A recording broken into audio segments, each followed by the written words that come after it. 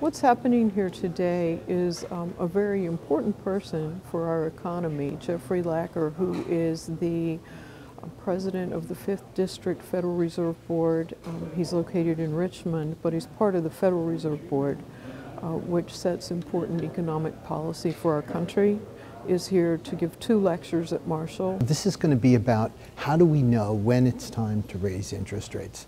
Um, thinking about it over the last uh, two years, we've been debating it, we've been discussing it, we've been analyzing it, and I realized that um, sort of the man on the street, sort of people out there might, it might seem a lot, uh, sort of mysterious to them. It might seem as if it's, uh, you know, just kind of a finger in the, wet your finger and stick it in the air kind of thing, but it's not. There's some analysis behind it.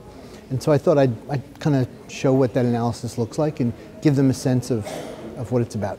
I want them to understand some of the complexities about our economy and our economic policy and the way that we do, in fact, have a regulated economy.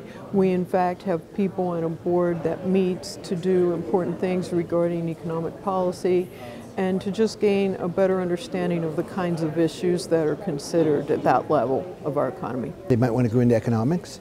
Um, I'll show them some things we know. I'll point to some things we don't know and we could use some more researchers and just look like smart students. Maybe one of them will go on to do, make some scientific advances in economics.